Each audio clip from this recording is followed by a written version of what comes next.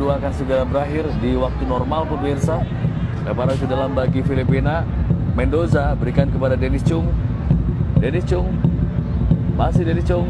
Tidak sama dengan Mendoza. Oh, Dennis Chung. Pergerakan yang sangat berbahaya bagi pertahanan Indonesia. Dia memiliki skill penetrasi dan determinasi tinggi yang bisa mengobrak abrik pertahanan Indonesia sementara Rahmat Irianto salah satu sosok lugas dan juga kuat sosok petarung ya Betul.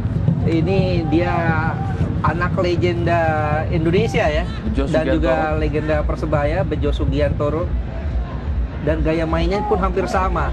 Cuma bedanya eh, Rahmat Irianto lebih sering sekarang dimainkan sebagai DM ya, defensive midfielder. ya betul sekali Sementara ayahnya satu center back. ya umpan dari Oscar Kekonan kurang akurat melalui tendangan penjuru tadi membuang-buang peluang, membuang-buang bola. Oscar Kekonan kita saksikan pemirsa kapten dari Filipina pemain usia 22 tahun yang memperkuat Askal Development Team.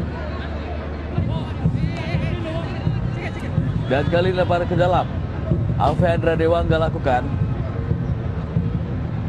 berikan kepada Ivan Jauhari baik sekali Ronaldo Kuate Ronaldo Kuate adu sprint berhasil lolos Ronaldo Kuate Wah, penalti, penalti, wasit penalti. menunjuk titik putih jelas ini sebuah penalti ketika Ronaldo Kuate sudah berhasil lolos dan dijegal dia oleh Christian Rontini Ya, ini kita lihat bagaimana speed seorang Ronaldo Kuate.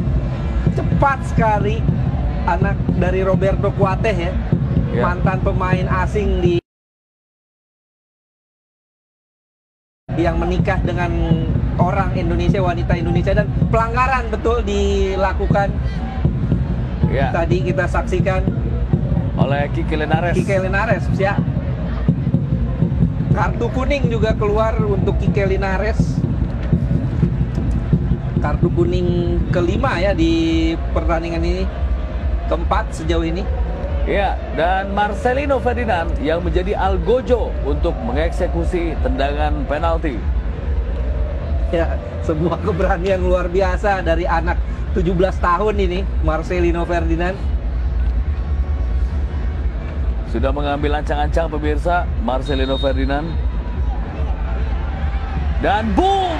Marcelino Ferdinand berhasil membawa Indonesia unggul 4-0 atas Filipina dan kita lihat selebrasi dengan Ronaldo Kuate sang aktor yang membuat Indonesia dihadiahi tendangan penalti. Ya, dan gaya selebrasinya ala Ronaldo juga ya. Iya, Walaupun. Ronaldo Portugal. Dan alhamdulillah finishing touch yang sangat baik kita saksikan. Sebuah penalti yang sangat klinis ya, eksekusi Iya. penalti sangat klinis dari Marcelino Ferdinand. Tenang sekali pemain ini. Ya,